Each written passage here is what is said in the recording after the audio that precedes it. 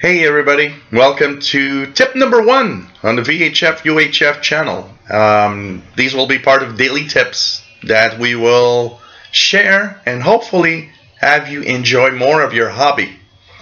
Today's tip, if you have an old scanner lying around somewhere, maybe you're thinking, well, you know what, there's nothing analog anymore in the bands.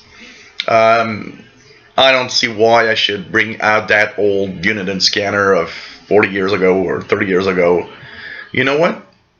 Take it out. Especially if it's been lying there doing nothing for years. Take it out. Put some batteries in it and turn it on.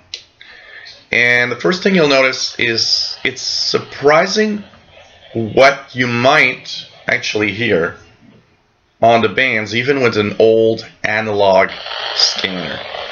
It is, um, in, in a survey that I've seen recently, there's actually more analog stuff than digital stuff.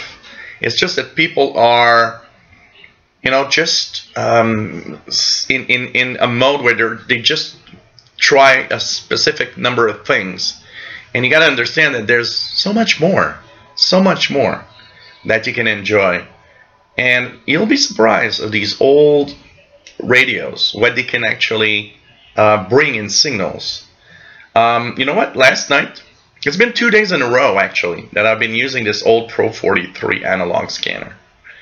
I started to tune around uh, the VHF range.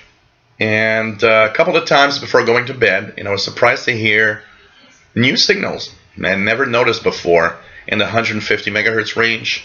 Um, I started to notice local provincial police has actually more channels than I uh, thought that I could actually receive, even with this little rubber ducky antenna.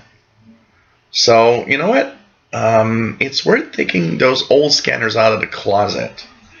And of course, if you have only one, if it's your main radio right now, well, take it for a spin and you could be very surprised at the amount of signals that you can hear. Uh, VHF range, UHF range.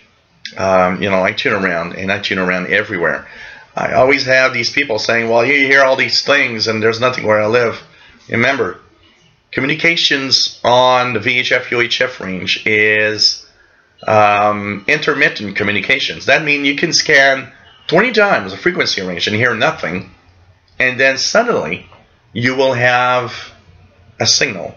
Why? Because you've been uh, persistent, because you've been waiting and you let it scan, not for two minutes, but for a while. And uh, I can tell you, you'd be very surprised at what you can hear. So that's the tip today. Take your radio out. Tune it. Take your old scanners out of the closet. And you'll be surprised what you can hear. Hope you enjoy these daily tips, and they'll be here almost every day. If you enjoy my videos, please subscribe. Take care, guys.